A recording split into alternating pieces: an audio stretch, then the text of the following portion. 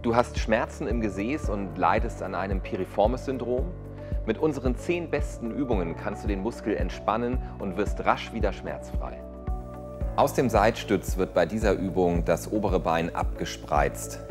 Als weiteres Übungserschwernis dient hier ein Rubberband, das über beide Knie gespannt wird.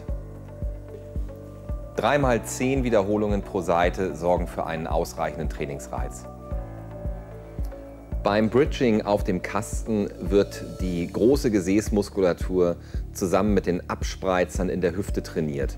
Hierfür dient das Rubberband, was über die Unterschenkel gelegt wird, was einen größeren Widerstand beim Auseinanderspreizen der Beine erzeugt. Dreimal 20 Wiederholungen sind bei dieser Übung ausreichend. Die Dehnung der Wadenmuskulatur, bei der nach einem langen Ausfallschritt nach hinten die Ferse auf den Boden gedrückt wird und die Hüfte nach vorne geschoben wird, dient der Entspannung der hinteren Beinmuskulatur von der Wade über die hintere Oberschenkelmuskulatur bis zum Gesäß. Für die Dehnung der tiefen Wadenmuskulatur wird das zu dehnende Bein im Kniegelenk gebeugt. Das Fersenbein hält weiterhin Kontakt zur Unterlage. Durch ein weiteres Beugen des Kniegelenkes und ein Absenken des Gesäßes entsteht eine Dehnung in der tiefen Wade, die wie bei der Übung zuvor für 20 Sekunden gehalten wird. Die Dehnung der Oberschenkelrückseite dient ebenfalls der Entspannung der rückwärtigen Beinmuskulatur, die bis in das Gesäß hineinreicht. Durch das Vorneigen des Oberkörpers bei gestrecktem Bein wird die Dehnung in der Oberschenkelrückseite erzeugt und für 20 Sekunden gehalten. Mit dieser Übung wird die komplette hintere Muskelkette von der rückwärtigen Beinmuskulatur über das Gesäß in die Wirbelsäulenmuskulatur hinein gedehnt. Es reicht, wenn Sie diese Position für 20 Sekunden halten.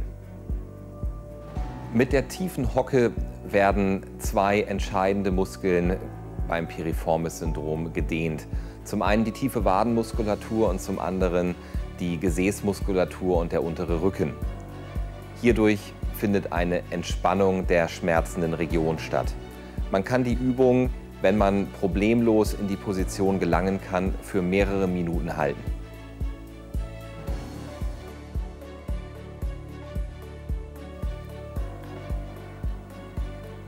In Rückenlage und mit gebeugter sowie außenrotierter Hüfte kann der Piriformis-Muskel selbst gedehnt werden.